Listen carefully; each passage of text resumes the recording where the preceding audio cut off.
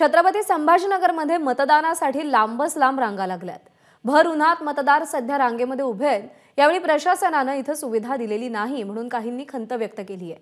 तर काहींनी शिस्तीत रांगेमध्ये उभं राहत मतदान करण्याचं आवाहन केलंय. याचा आढावा घेतलाय कृष्णा केंडे यांनी.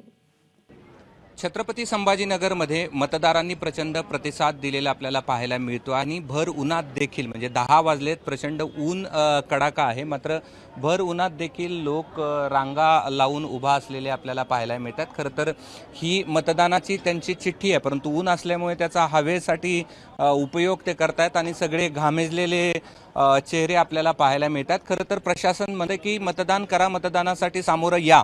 मात्र हे जे श्रेयस बालक मंदिर आहे म्हणजे शाळा जी आहे ही इथे आपल्याला कुठलीही प्रशासनाने व्यवस्था केलेली पाहायला मिळत नाही आणि उन्हामध्ये देखील लोक रांगेमध्ये उभा आहेत. साहेब ऊन पाहणं किती आहे? हम्म, उन्हामुळे त्रास पाण्याची सोय नाही काहीच नाही ना.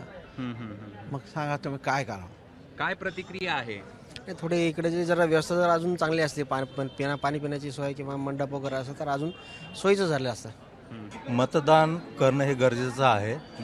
त्यामुळे आम्ही आता ऊन असले तरी सहन करून रांगेमध्ये उभे आहोत मतदान करत आहोत आम्ही. तर त्रास सहन करतोय परंतु सरकारने कितीही त्रास दिला तरी मतदान करावं लागेल. उन्हात करतोय तीन तासापासून थांबलेलो आहे. प्रशासनाने ही दखल घ्यायला पाहिजे की उन्हात एवढी लोक आहेत तर ते शेड जे आता म्हणतायत की नंतर टाकणार आहे वगैरे तर याची पूर्वतयारी त्यांची हवी होती आणि पाण्याची व्यवस्था वगैरे करायला पाहिजे. तीनशे पासष्ट दिवसातून आपण जर सरकार निवडतो आहोत तर त्यावेळेस आपल्याला जर एखाद्या दिवशी थोडासा त्रास झाला तर सहन करावा ना. आपल्या घरी लग्न कार्य किंवा एखादा जर कार्यक्रम असला तर आपण सहन करतोच ना. मग आज सहन करायला काय होतं?